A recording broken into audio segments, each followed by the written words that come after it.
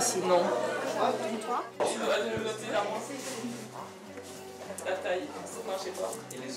Bonjour, moi je m'appelle François, donc euh, je suis revenu de Nouvelle-Zélande euh, l'année passée. Et moi je m'appelle Laila Wautier et euh, je pars pendant un an en Argentine. Comment était ton expérience? Comment tu l'as vécu? Il y a beaucoup de facteurs qui font un échange. Il y a toi-même déjà, et puis il y a euh, tes familles et le club Rotary, et les gens que tu rencontres. C'est toi qui dois te rendre, te rendre heureux.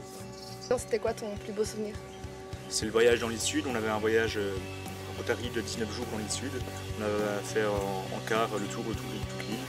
Et on a. Et c'est juste tous les moments que j'ai passés avec euh, les étudiants d'échange là-bas. Un, un échange, ça, ça change beaucoup.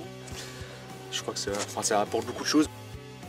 Alors euh, moi je m'appelle Marine Kesteman, je suis du district 1630 et je suis partie en 2016-2017 à Taïwan. Euh, moi, je m'appelle Alice Dupont et euh, l'année prochaine, je vais partir en Argentine. C'était vraiment magique parce que Taïwan est une île déjà paradisiaque.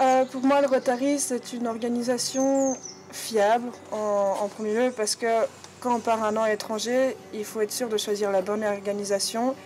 Et quand j'ai choisi Rotary, j'étais sûre que j'allais être entre de bonnes mains. C'est grâce au Rotary que je vais pouvoir euh, avoir des connexions avec des, pe- des- mes amis dans le monde entier. Le Rotary, pour moi, c'est euh, euh, se sentir en sécurité.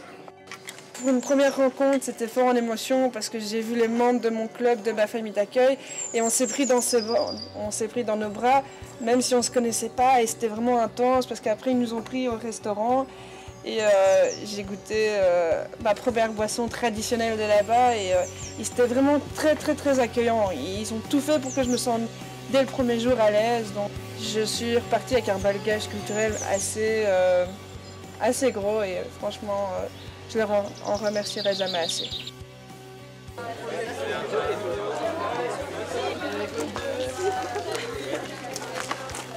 Je m'appelle Gaspard Jomotte et je vais partir euh, au Canada l'année prochaine. Et moi, je m'appelle Florence Hélens et je suis partie en Indonésie en 2013-2014. J'étais super bien accueillie. Dur euh, de quitter euh, tous ses amis, sa famille ici en Belgique. Non, je pense pas, parce que maintenant, tu as tellement de techniques pour rester en contact que c'est vraiment facile. C'est pas trop difficile d'être vraiment coupé un an euh, dans, euh, bah, dans le cursus scolaire par exemple ou de reprendre l'UNIF Non, après ça, euh, ça. Ouais, Ouais, ça, pose mythe. aucun souci. Bah, tu sais, tu... euh, c'est un peu une question de volonté, quoi, et de motivation. Et t'appréhendes pas le... de partir ça fait Non, euh, franchement j'ai vraiment envie de partir. Euh, ouais, de vraiment de découvrir un autre pays, une autre manière de vivre, une autre langue. C'est pour ça que t'as voulu partir Ouais, Ouais. ouais, vraiment. Mais vraiment, en fait, avec le Ratari, euh, toutes les vidéos qu'on m'a montrées, euh, certaines personnes justement qui m'ont parlé de, de leur voyage à l'étranger, j'ai vraiment vu que c'était ultra enrichissant de partir un an à l'étranger, quoi, que tu découvrais vraiment une autre culture, une autre manière de vivre, euh, mais selon différents aspects, grâce euh, notamment euh, aux différentes familles d'accueil. Et donc tout ça, ça me donne, euh, au, au plus j'en apprends, au plus j'ai envie de partir. Quoi. Ah ouais, tu vas voir, tu vas rentrer de là, tu seras, auras grandi dans ta tête. Ouais, tu seras plus le même. Je suis vraiment impatient de partir.